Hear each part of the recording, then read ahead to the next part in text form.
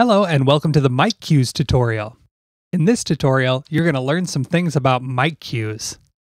Mic cues are similar to audio cues, except instead of targeting a track on your computer, mic cues take in live audio from a microphone or line level input connected to your audio interface.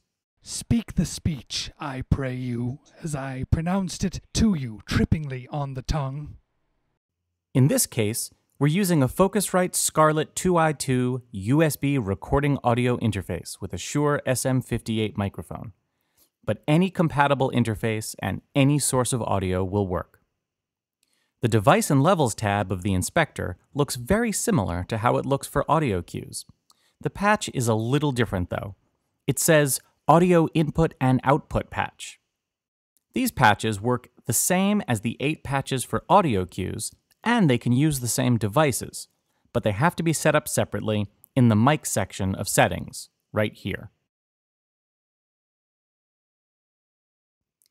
A mic cue must use the same audio device for both input and output.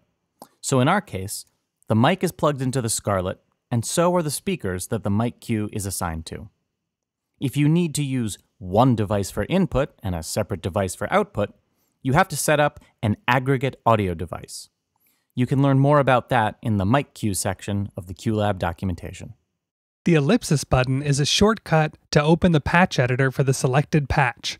The patch editor lets you name outputs, assign audio effects to cue outputs, route cue outputs to device outputs, and assign audio effects to device outputs.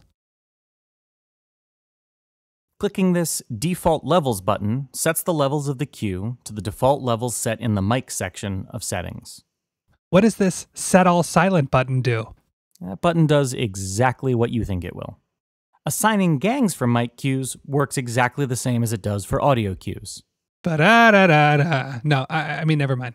The Visible Channels control allows you to set the number of output channels currently visible in the matrix mixer. Outputs which are not displayed are not disabled. They're simply hidden from view. In an audio cue, each row in the matrix mixer represents one channel of the targeted audio file. In a mic cue, each row represents one input on your audio device. QLab will automatically make a row for every input it recognizes. If, for example, you're using the Mac's built-in input, you'll see two rows, because the Mac supports two-channel input using the built-in microphone or mic input jack.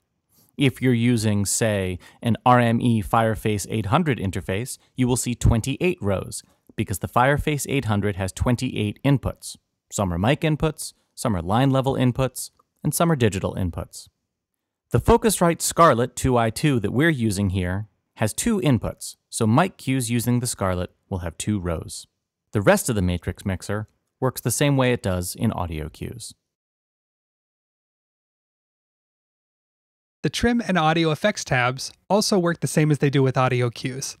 And you can find more info about those in the Intro to Audio tutorial.